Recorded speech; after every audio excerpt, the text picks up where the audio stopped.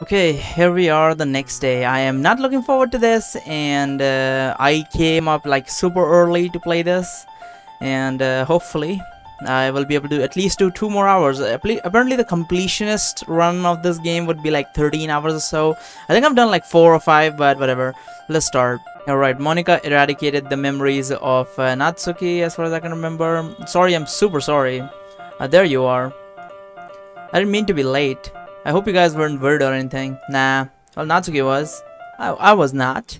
uh, what took you so, so long anyway? Uh, well, my last period today was study hall. To be honest, I kind of lost just lost track of time. That makes no sense though. You would have heard the bell ring at least. I must have not heard it since I was practicing piano. Piano? I wasn't aware you uh, played music as well, Monika. Uh, don't give me more credits than I deserve. I guess I've been practicing for a while, but I'm still not really good yet. Still, that must require a lot of dedication. So I'm still impressed. Uh, oh well, thanks Yuri. I hate the fact that they sometimes clip out of the fucking screen. Makes it look like more glitchy. You should play something for some time. That's Monika looks at me. Well, I'm working on writing a song, but I'm not quite. It's not quite done yet. Maybe once I get a little better. Yeah, she said the same shit last time, so let's just move on. In that case, I won't let you down. But uh, so Monika smiled sweetly. Ah, I didn't mean any pressure or anything. Don't worry. I was hoping that I could share it with you anyway. Oh right, last time she didn't share it for anyone, and she said uh, now she's saying that she want to share it with us. Yeah, that's why I've been practicing so much recently, I see. I'm not sure if Monika is referring to the whole club or just me. In that case, best of luck. Thanks. I didn't miss anything, did I? No, not really. Uh, I chose not to bring up anything the three of us talked. Yeah, last time Sayori was uh, doing some shit, stupid shit, so we didn't tell her about that. This time we're not talking about the fucking creepy demonic shit they did last time, which holy shit, that fucking threw me off. Uh, hopefully this time for the next two hours it's a little bit more tame. Natsuki's already run off into the closet. I literally have my headphones like kind of off. I just have my mic in front of me and uh, I'm not listening to anything, any sort of music or anything because I know I'm gonna get creeped the fuck out. Uh, Blood.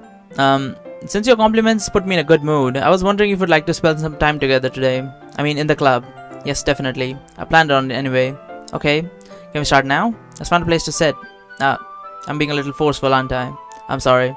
My heart just wouldn't stop pounding for some reason. Don't worry about it. If anything, it's nice to see you uh, have so much energy, yeah? But I need to try to calm down. I won't be able to focus on reading like this. Take your time. Yuri takes a deep breath and pulls a copy of book out of her bag. I actually have a request. Do you mind if I make some tea first? Not at all. Thanks very much. There's one thing that uh, makes make my reading time here any better is a nice cup of tea. Not to mention for yourself as well. It's, it's funny, and you know, I usually do stuff on my phone, because of which, um, you know, visual novels on fucking screen, which is like fucking huge. Uh, it's kind of it kind of throws me off, especially when it's horror stuff. I mean, if I'm playing this, I might as well play. Um, what was that game called?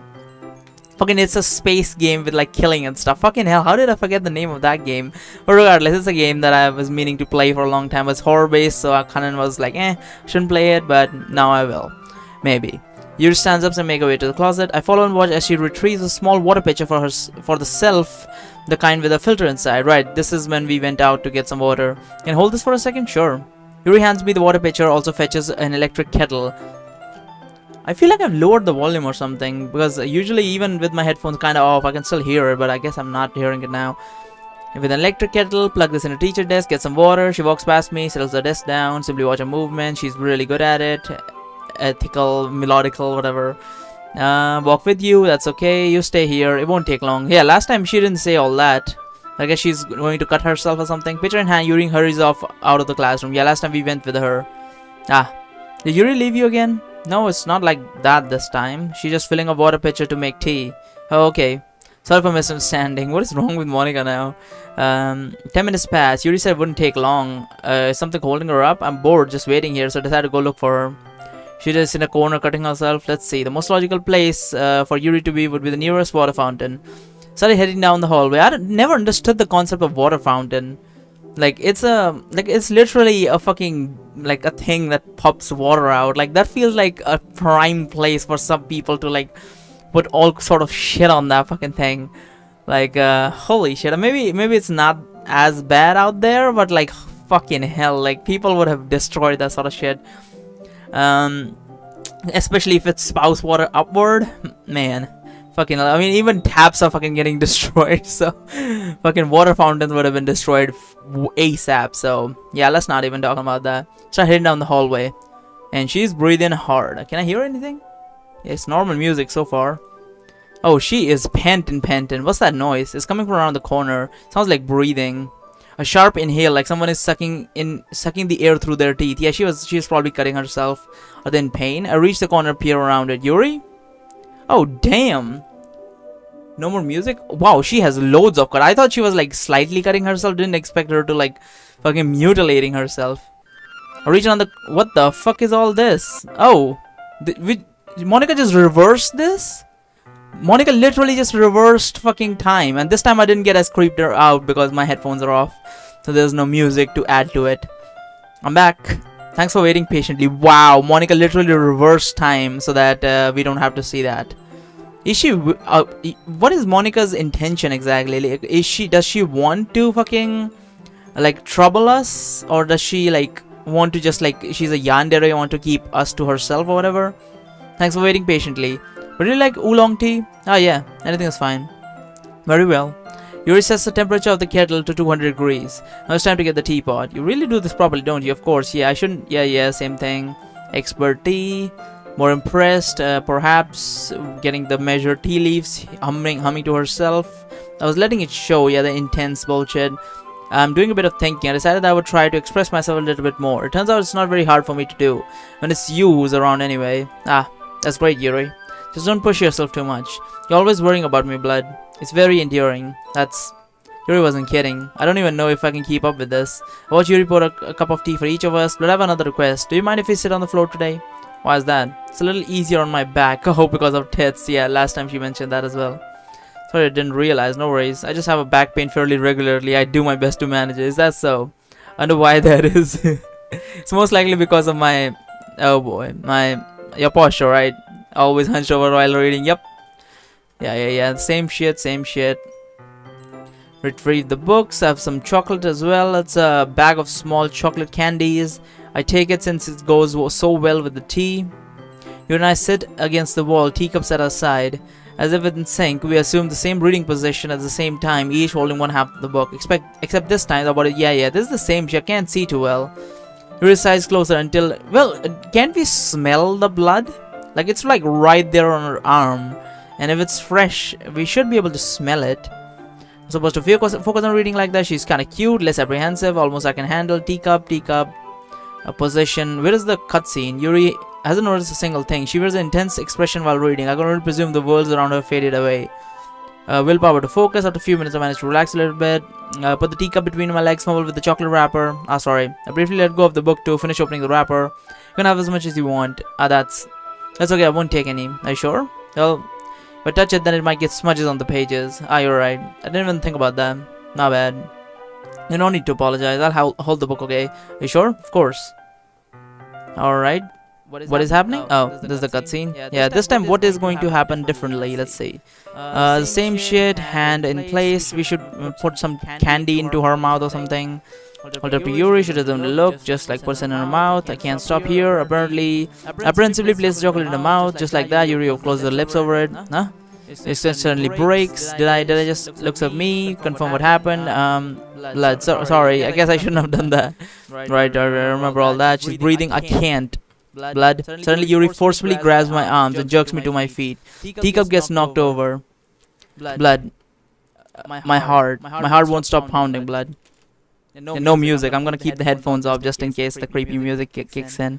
Did she pull me into the fucking closet or something? I can't calm down. Is she gonna cut us? Can't focus on anything anymore. Can you feel it, blood? He recently presses my hand against her chest. Why is this happening to me? I feel like I'm losing my mind. I can't make it stop. Even it makes me not want to read. I just want to look at you. Oh, oh damn! Look at those eyes. Those are some human ass eyes. This is hilarious. I've, I've seen enough um, uh, ugly bastard hint. I don't know where this is going.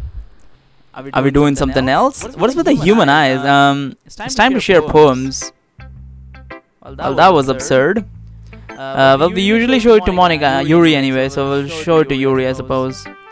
I've been waiting for this. Uh, let's see what you've written for today. Is she not gonna talk about what the fuck she was doing over there? She says the poem with a surprised expression on her face. Do you like it? Blood.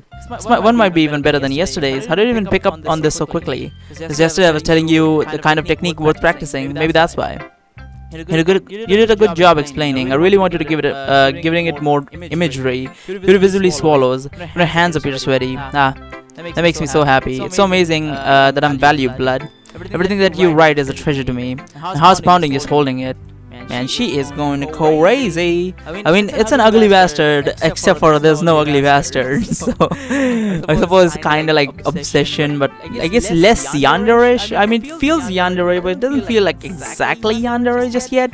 Maybe we'll get there. I want to write a poem about this feeling. Is that bad blood? I'm not weird, right? I'm having a harder time than usual at concealing my emotions. I'm kind of embarrassed. Right now, I just want to read my. I just want you to read my poem too, okay?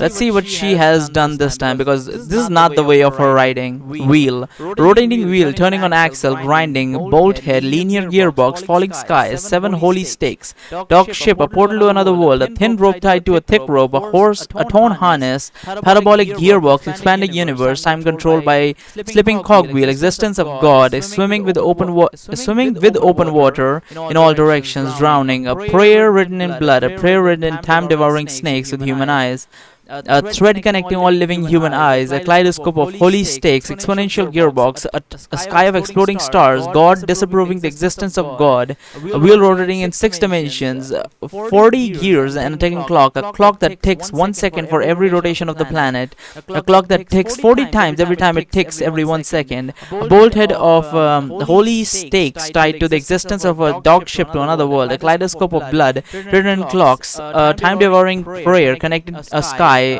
um, connecting a sky to 40 gears and open human eyes on direction, breathing gearbox, breathing boathead, breathing ship, breathing portal, breathing snakes, breathing God, breathing blood, breathing holy stakes, breathing human eyes, breathing time, breathing prayer, breathing sky, breathing wheel. I'm amazed I didn't fumble any of the words. Usually, when I'm continuously reading, I'm fumbling words. I guess uh, my skills are getting better. That is not even a poem. Doesn't really matter what it's about. My mind has been a little hyperactive lately, so I had to take it out on, on your pen. That is, that is a, a pen, pen fell, fell out of your backpack, backpack yesterday, so I took it home for safekeeping and um, I really, I really like the way that it, that it writes. So I wrote this poem with it. Now you're, touching it. Okay, okay now we're getting to the under territory. I'm okay. But did I just... Can we pretend this conversation conversation never happened? Uh, uh, you can keep the poem though. Uh, who should I show my... She's nothing to say about that. Let's go to Monika, I suppose.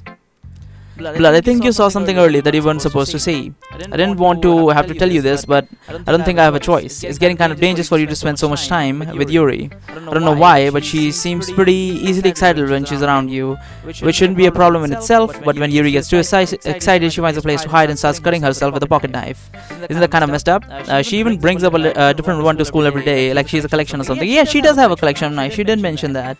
Uh, I mean, it's definitely not because she's depressed or anything like that. I think she just uh, gets some kind of high from it.